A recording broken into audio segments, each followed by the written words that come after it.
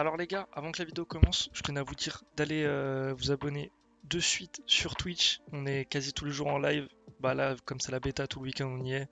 Donc venez vite et venez vous, vous follow, vous abonner, ce que vous voulez les gars. Je vous attends. À tout de suite.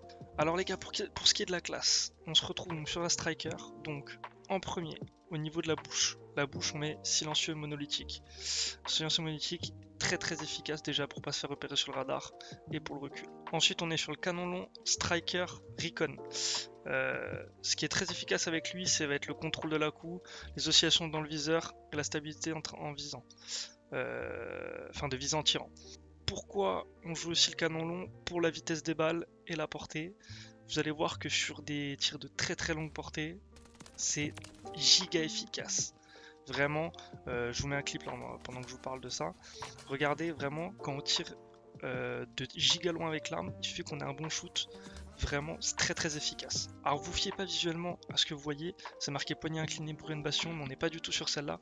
On est vraiment bien sur la poignée verticale Kimura, qui est très très efficace. Euh, vraiment, de toute façon, j'ai testé à peu près tous les accessoires sur cette arme, et vraiment la, la meilleure, c'est la poignée verticale Kimura Rin 03. Ensuite, pareil, euh, bug visuel. On n'est pas sur le chargeur de 48 cartouches, on est bien sur le chargeur tambour. Donc le chargeur tambour est vraiment très efficace. Ça nous permet d'enclencher plusieurs fights différents, plusieurs AV1. Euh, il y a vraiment des situations où euh, on va avoir besoin de plus de 30 balles minimum, même plus de 48 balles. vraiment le, le chargeur de 60 cartouches est vraiment très très important.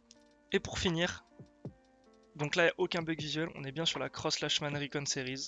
Donc celle-là, elle va nous permettre de ne euh, pas perdre en vitesse de déplacement, de pas, pas perdre en vitesse de marche en visant, donc ce qui est vraiment très cool. Elle va nous réduire un peu la précision, mais en fait, comme, on l'a, comme la précision, on la step up depuis tout à l'heure, en fait, on va, on va avoir une, précision qui va quasi pas changer même avec cette poignée, enfin cette crosse. Euh, et, vraiment là on est sur une, sur une arme très très efficace, que ce soit à courte portée, dans les duels euh, quasi corps à corps. En, fait sans viser, euh, c'est très efficace. En visant en courte distance, c'est très efficace. Et en visant en longue longue distance, c'est très très très efficace aussi. Donc vraiment pour moi, actuellement c'est la meilleure arme que j'ai pu tester. J'ai testé différentes classes que les gens conseillaient ou quoi. Euh, j'ai fait mes petits ajustements perso et vraiment cette classe là pour moi est actuellement la meilleure de la bêta. Voilà.